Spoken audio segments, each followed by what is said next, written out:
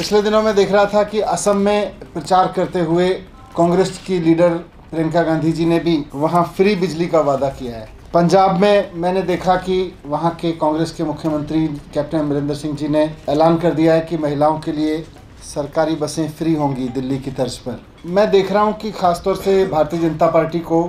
कांग्रेस को भी, कि देश में जहाँ जहाँ चुनाव हो रहे हैं,